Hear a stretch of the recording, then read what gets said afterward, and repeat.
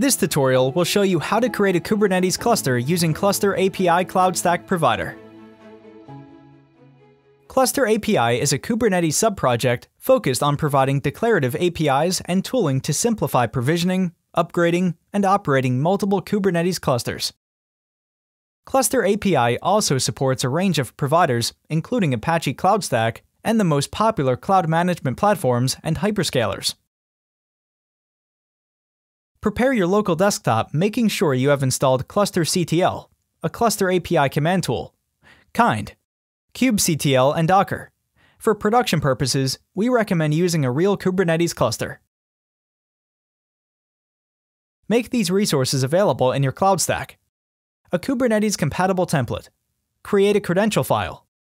An isolated or shared network. In this video, we will demonstrate how it works using an isolated network a service offering with minimal requirements for Kubernetes nodes. Optionally, an SSH key registered in CloudStack. In the Apache CloudStack UI, register a supported template. You can find some templates available in the community repository. If you need to use a different Kubernetes version, you can find out how to build one in the CAPC project page. Copy your credentials from the CloudStack UI and create a new file. This file needs to have a CloudStack endpoint, public, and the secret keys.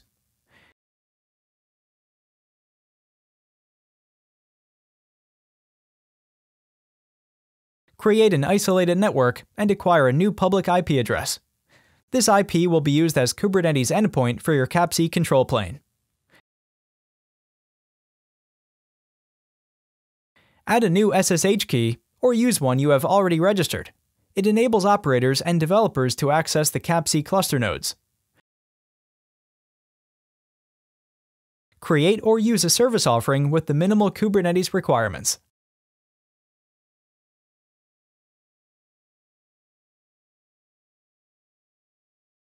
In the terminal, export the variables needed to set up CAPC, such as zone, network, the public IP address, the service offering for both nodes, the SSH key.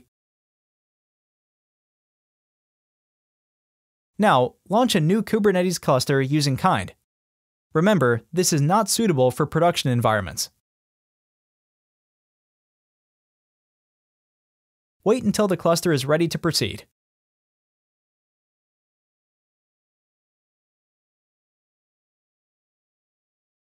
Initialize the CAPC managing cluster.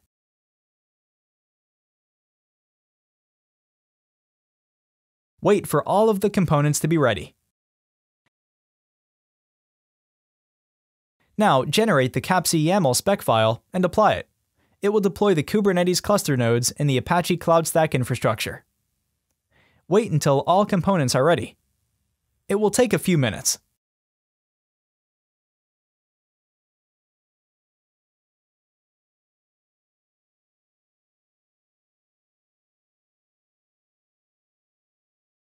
Generate the kube config to access the CAPC cluster.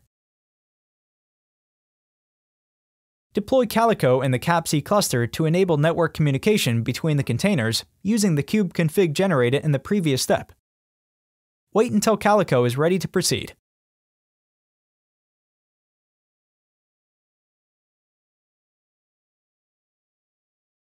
Deploy a Kubernetes dashboard using your own YAML file.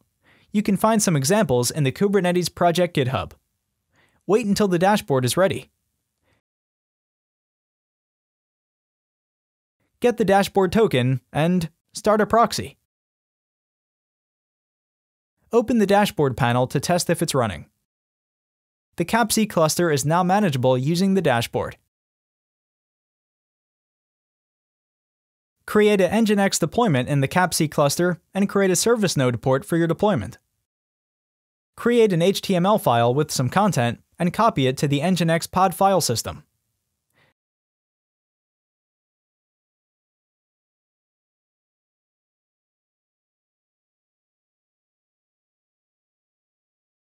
Now, since a CloudStack isolated network is being used by the CAPC, you will need to take additional steps to adjust the firewall rules in order to open the Nginx service port and create a load balancer for your application.